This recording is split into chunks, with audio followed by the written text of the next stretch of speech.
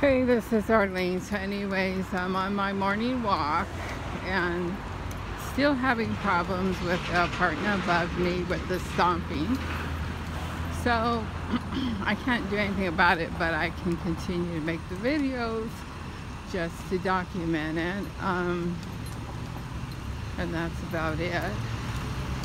So this weekend they did a lot of stomping especially when I study, they'll stomp right over my desk, which is interesting how they know exactly where I'm at. So this time, somebody would stomp over me, and then uh, someone else was stomping over the kitten who was sleeping in her cat tower in the living room. So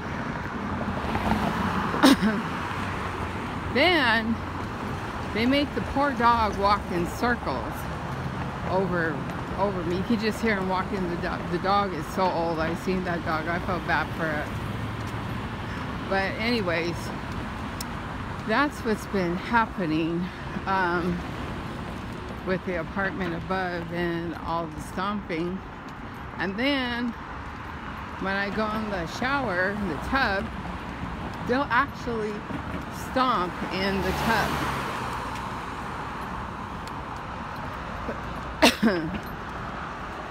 so just making a video about it since it seems to be a continual problem.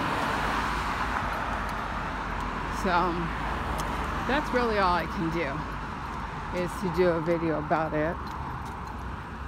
And all the stomping. What I don't get though is why they would want to stomp over a kitten.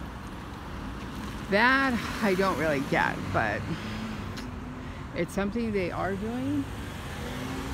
And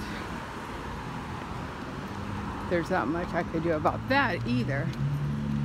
So if I put, like I have a kitty cam for my kitten,